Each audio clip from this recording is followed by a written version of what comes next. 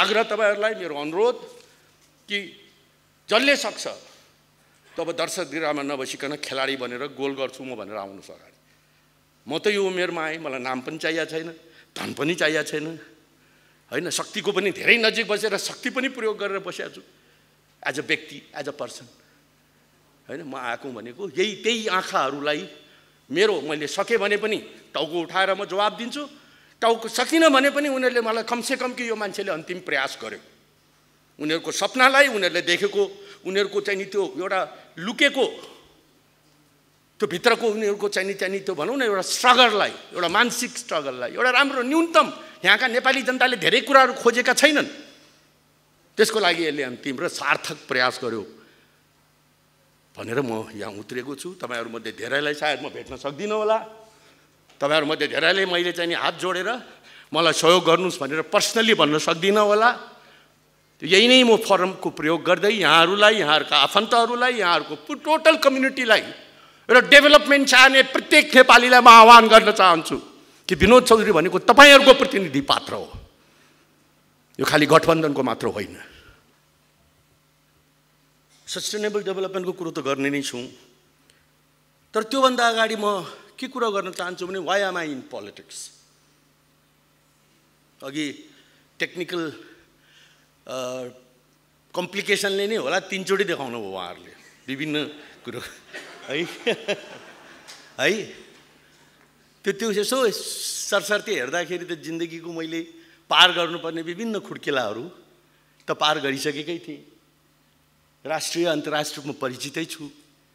पैसाको लागि राजनीति गर्नुपर्ने आवश्यकता छैन। त भन्दाखेरि why am I in politics यदि हाउसमै बस्ने रहर हो भने पनि दुई दुईचोटि बसिसकेँ। अहिले त नाता नातिनी खेलाउनु पर्ने होइन? आफूले अहिलेसम्म आर्जन गरेको बाहिर छ हजार होइन पन्ध्र हजार मान्छेलाई हामी रोजगारी दिन्छौँ विश्वभरि हँ? बेलामा यो मान्छे त प्रत्यक्ष चुनाव लड्न गइरहेछ। त्यो पनि एउटा यस्तो क्षेत्रमा तपाईँले त्यो सस्टेनेबल इकोनोमिक डेभलपमेन्टको कुरा गर्दाखेरि मैले त्यो क्षेत्रलाई एउटा चाहिँ उदाहरणको रूपमा म प्रस्तुत गर्न चाहन्छु किनकि मेरो क्षेत्र भनेको नवलपरासी प पूर्व थियो तर पार्टीले पश्चिम पठाइदियो। होइन? त्यहाँको भूगोललाई चिन्दाखेरि म एउटा यस्तो भूगोल देख्दैछु त्यहाँ कि जहाँनिर पचासौँ वर्षदेखि हजारौँ घरका डुबानको समस्याको समाधान भएको छैन सुस्ताको।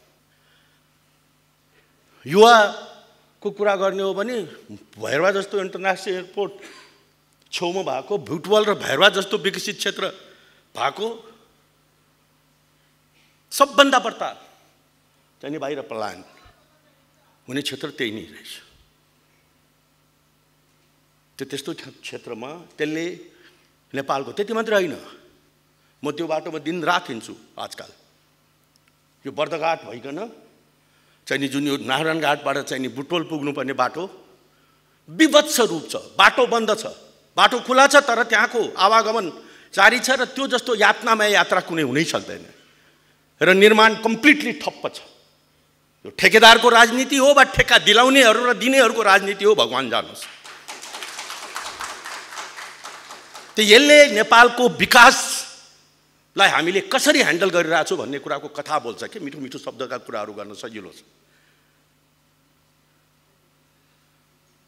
मेरो आफ्नो मान्यता। मेरो आफ्नो मान्यता कहिलेकाहीँले मैले बडा गम्भीरतापूर्वक सोचेँ कि किन नेपालमा ठुला ठुला परिवर्तनहरू भए? छ्यालिस सालभन्दा पहिलेको कुरा नगरौँ।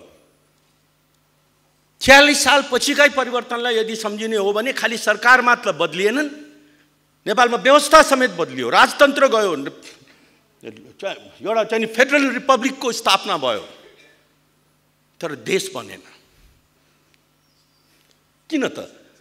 एक सय एक चाहिँ हाम्रा चाहिँ नेताहरूको यो देशमा अभाव नभएको होइन भएको होइन। पोलिटिकल एक्टिभिस्टको पनि अभाव भएको होइन। नेपालका नेताहरूले नेपालको मात्र होइन इन्डियाको समेत स्वाधीनताको सङ्ग्राम लडेका थुप्रै इक्जाम्पलहरू हामी पाउँछौँ। प्रवासमा बसे।